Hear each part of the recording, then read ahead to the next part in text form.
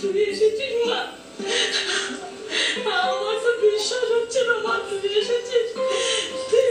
এতদিন পরে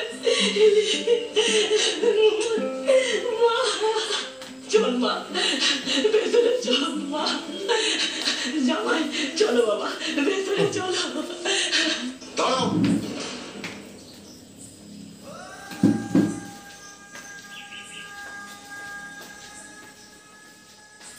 কি ব্যাপার?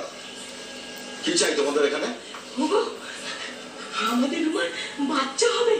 তুমি দাদু হবে গো। চুপ করো। আমার কোনো মেয়ে নেই। আমার একটাই ছেলে। তোমাদের বলেছিলাম না? এই বাড়িতে পা রাখবে না?